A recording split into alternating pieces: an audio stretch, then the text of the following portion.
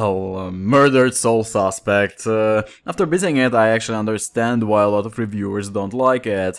It is very easy to critique being a very mediocre game that doesn't do anything special, doesn't have any unique mechanics, uh, just a shit ton of collectibles and a pretty nice story to connect it all. but you know what? I actually enjoyed it. Uh, if it costs like $15, I would say go and get it. Uh, otherwise, just wait for a sale.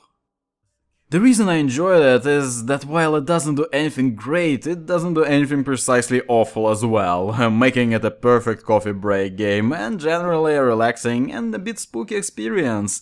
Uh, the story, for instance, is not mind-blowing, but the little twist in the end was all worth it. It surprises and strikes as a clever little thing that leaves you satisfied.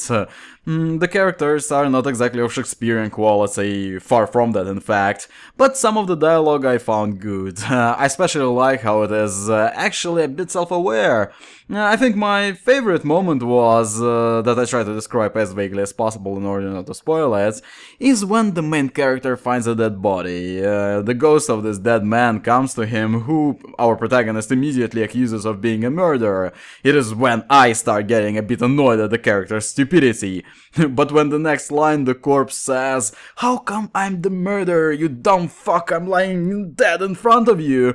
it only leaves a smile on my face, and there were several of these moments.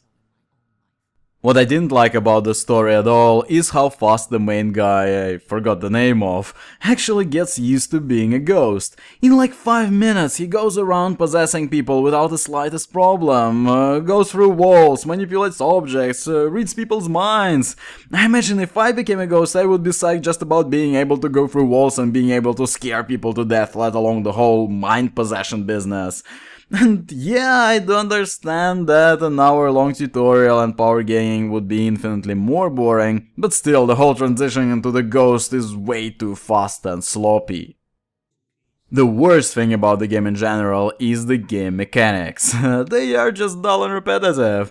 Collecting stuff is basically the only thing you do in the game, uh, because it is the only thing that's required to solve mysteries, uh, which is the focus of the game. you just collect shit and choose two or three objects to answer a predetermined question, kinda how a low-budget iOS game works. Mm, the combat is laughable as well, but not because you QTE enemies to death, it is because you gotta be an underdog underdog in the whole situation, but in reality, you are the hunter, while demons from hell are your helpless victims. I mean, poor things only have their arbitrary patrol paths, while you can just go through a wall behind them and annihilate the poor bastard, leaving the others only to shit their pants. but again, uh, this easiness doesn't make the whole thing neither frustratingly annoying nor special, so it is like it was never there.